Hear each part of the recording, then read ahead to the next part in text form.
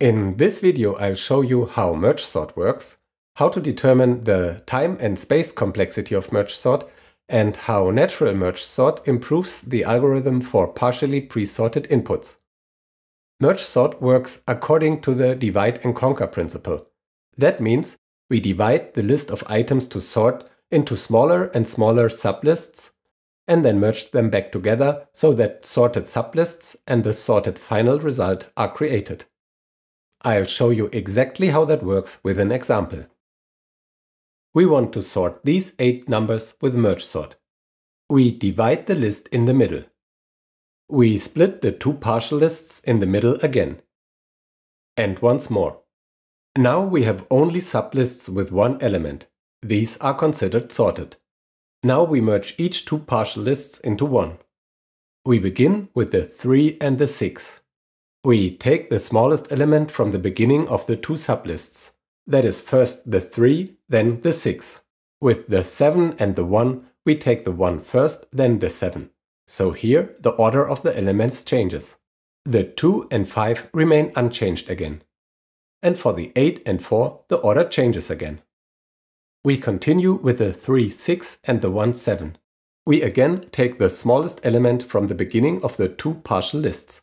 That is first the 1 as it is smaller than 3, then the 3 as it is smaller than 7, then the 6 as it is also smaller than 7, and finally the 7 as the other partial list is empty.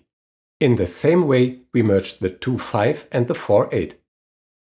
First the 2 as it is smaller than 4, then the 4 as it is smaller than 5, then the 5 as it is smaller than 8, and finally the 8. And finally, we merge these two partial lists into the final result. That does not only work with powers of 2, that is with 2, 4, 8, 16 and so on elements, we can just particularly well display those graphically. Here's an example with 11 elements. We divide an odd number of elements left or right from the middle. In the example, I divide left from the middle. Again and again. Now we have 8 sublists, 5 of them with only one element and 3 with two elements. We divide the ones with two elements once more and merge them together again first. The other 5 partial lists remain unchanged. And so we have 8 sublists again, which we merge to 4 sublists, then to 2 sublists, and finally to a single list. Let's move on to the time complexity of merge sort. We'll look at the division phase first. We denote the number of elements to be sorted by n. With n is equal to 4, we have 3 divisions.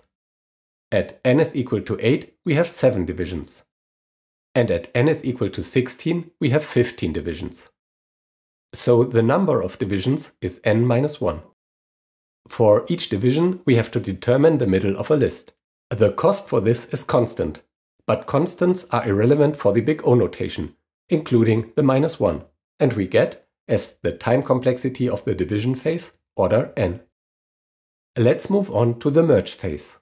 With four elements, we have two merge stages, on each of which we merge a total of four elements, that is 4 times 1 and 2 times 2. With 8 elements, we have 3 merge stages on which we merge 8 elements each. 8 times 1 4 times 2 and 2 times 4. And with 16 elements, we have 4 merge stages on each of which we merge a total of 16 elements. 16 times 1, 8 times 2, 4 times 4 and 2 times 8. If we double the number of elements, the number of merge stages increases by 1. So the number of merge stages can be calculated as the binary logarithm of n.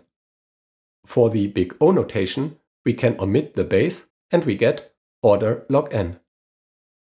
Since the two lists to be merged are already sorted, both must be traversed exactly once. Accordingly, the cost is proportional to the number of elements merged. The number of elements per merge stage is n. Accordingly, the cost per merge stage is order n.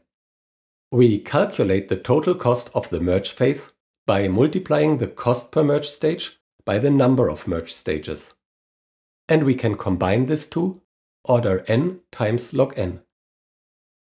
If we now add division and merge phases, we get order n plus order n times log n. We can drop the smaller complexity class order n and we get an overall time complexity of order n times log n.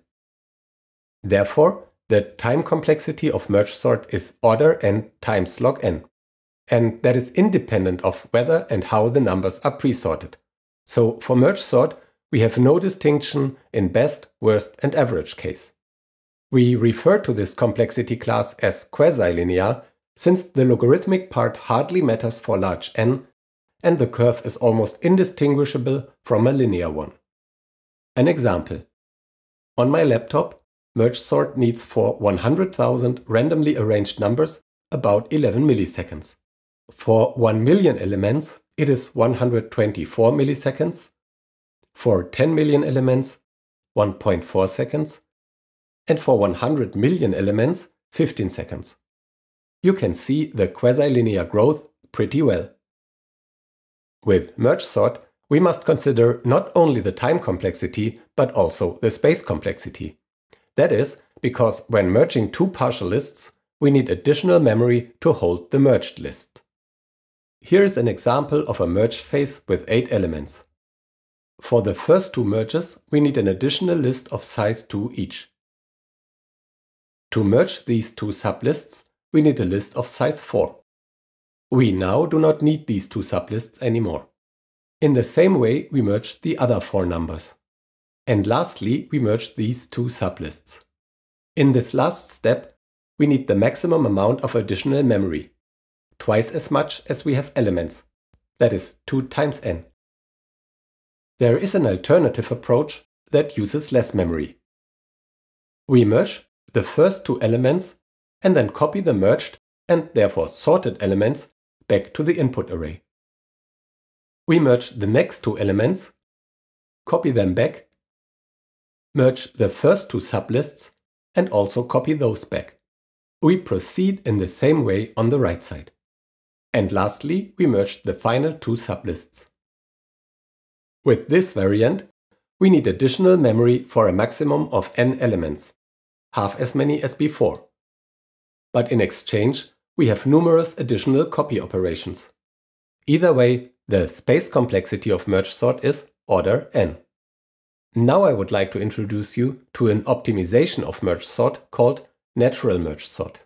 If we look at the first example once again, we can see that our sequence of numbers contains some subsequences that already contain the numbers in their proper order.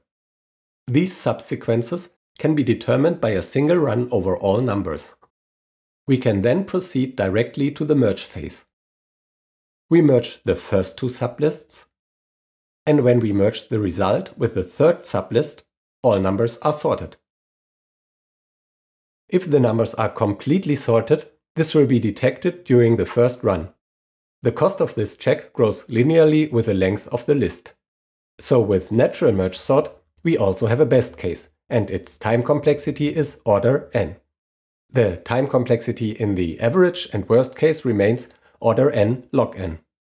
I hope you enjoyed this video about merge sort. You can also read the explanation on my website happycoders.eu. You'll find a link in the video description. In the article, you can also find the source code of merge sort and a description of in-place merge sort, a variant where the merge phase does not need any additional memory for the merged sublists. If you like this video, feel free to give me a thumbs up, write me a comment and subscribe to my channel. See you soon and happy coding!